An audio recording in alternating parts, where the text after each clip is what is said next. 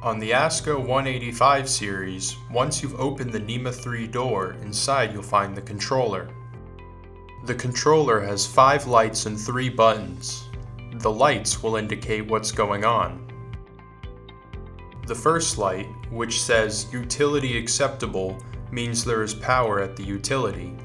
And the last light here, which says Generator Acceptable, is going to tell you that the generator is on and that there is power available from the generator. The lights in the middle, load on utility and load on generator, are going to tell you what position the transfer switch is in. If it is load on utility, then that means you are working off the utility, and load on generator will mean that you are working off your generator. So under normal conditions, your utility acceptable and load on utility lights should both be on, which means there is no issue with your power. If you do have a power cut and you're running on generator, the load on generator and generator acceptable lights will both be on. The fifth light here is for the generator exerciser, so when that light is on and solid, it indicates that there has been a generator exerciser timer set. This is to exercise the generator once a week to make sure everything is working correctly. If that light is completely off, it means that there is no exercise timer set.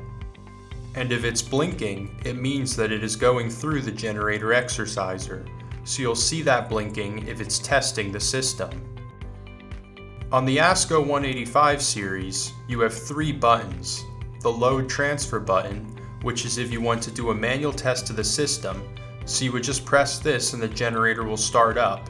It will then transfer to load, then transfer back to utility, and then shut down the generator, so it will go through the full cycle.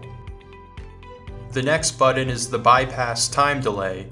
This allows you to stop the exercise at any moment and go back to utility, so you would just press that and the whole cycle would stop. It also allows you to bypass the engine cooldown timer, which lets the generator run on for a period of time after the utility is back and the transfer switch has transferred back.